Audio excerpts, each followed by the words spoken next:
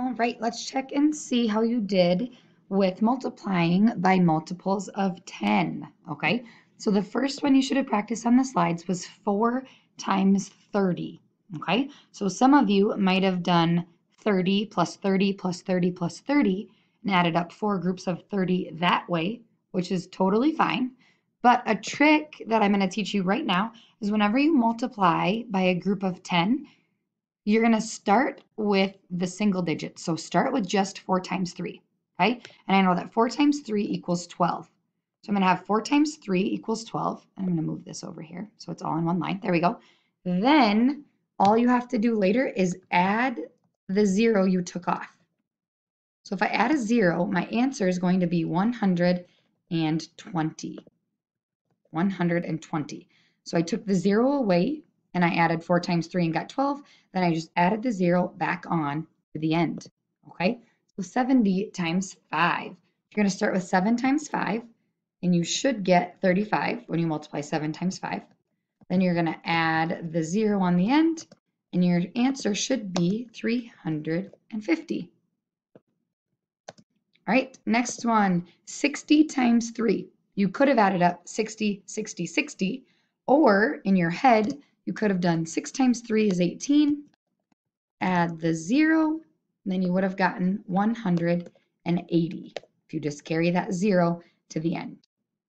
Okay, now that you learned the trick, I want you to go ahead and try 5 times 50, 20 times 80, 20 times 8, I'm sorry, 5 times 60, and 40 times 8.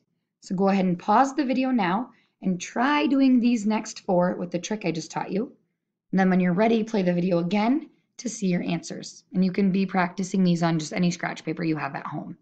Okay? So pause the video and do these, then play the video right back up again to see how you did.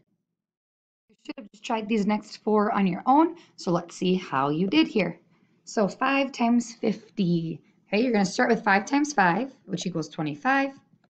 Add the 0 on the end, so your answer should be 250. All right, 20 times 8. Start with 2 times 8. Take the 0 off and start with 2 times 8 equals 16. Then you're going to want to go ahead and add the 0 to the end. So you will get 160 for your answer. All right, 5 times 60. So we're going to start with 5 times 6, which is 30. Then we want to add the 0 to the end, and that's going to end up being 300. And the last one here, 40 times 8, you're going to drop the 0 and start with 4 times 8, and you should get 32.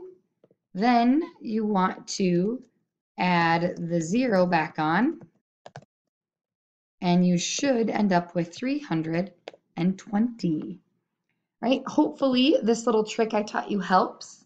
Just the easy trick you can do. So you can do some problems that really look really big, so you can just do them in your head.